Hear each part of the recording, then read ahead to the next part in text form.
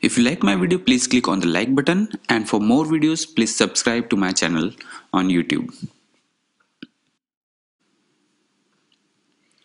And the last one is ozone layer depletion.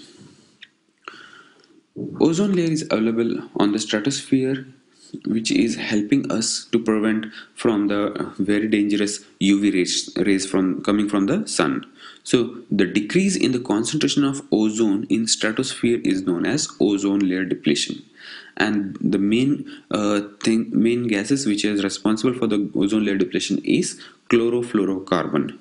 So what is chlorofluorocarbon? It is a material which is used as a coolant in the compressors of the refrigerators and air conditioner. It is also used to clean the electronic circuit boards used in computers, telephones, etc. It is also used in manufacturing of the foams for the mattresses and cushions, disposable styrofoams, cups, packaging materials and cold storage, etc. So what is ozone hole?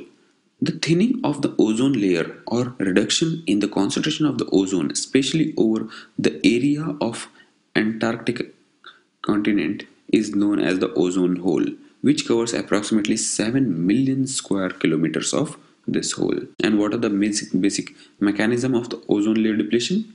First of all, formation of ozone. Oxygen in presence of UV light gets converted into reactive oxygen, which reacts again with the oxygen forming O3 which is ozone. Similarly, uh, CFC breaks into UV light and produces a reactive chlorine. This reactive chlorine reacts with the reactive oxygen forming ClO. This ClO can form a dimer. This dimer when breaks down it produces chlorine and oxygen. So chlorine is converting reactive oxygen again back into oxygen and not allowing to form ozone. So this is the mechanism of formation of ozone depletion layer. So what are the effect of ozone layer depletion? It damages the land, damages to land and plant and other lives. It also decreases the aquatic community. It decreases the population of aquatic community. It increases the rate of skin diseases and cancers in human beings. Because of the UV radiation, there are more chances of skin diseases. Disturbs the climate pattern. Also, it corrodes the materials. So how can we control this?